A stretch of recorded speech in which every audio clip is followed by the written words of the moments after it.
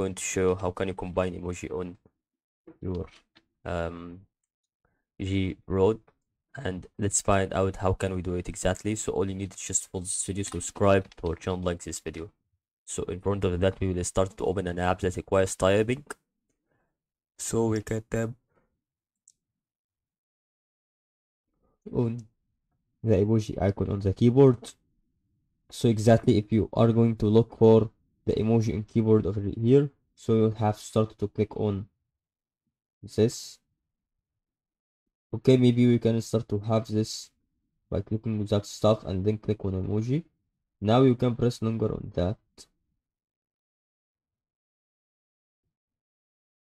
And then you can start to select um also and tap the hold the, the emoji to hold an additional variations or related emojis. You can drive an old emoji to the text field combine them in your message.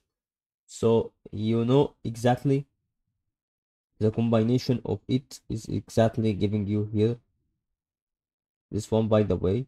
So for example i want to have the emoji that has a has a eyeglass.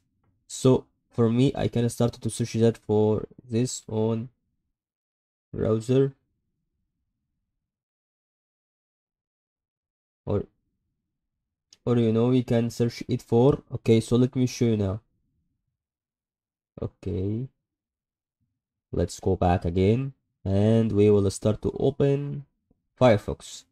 So including that we will have here to enter combined emojis. Okay and we will start to search for that. On that you can start to have two emojis combiner. You can start to select that one over here. And that is all guys. You can start to press longer on that. And then you can start copy and paste it. And that is all. Okay. So if you press it longer on here you can start paste it and that is all guys. To know how this exactly works. I hope you see this video helpful. Good luck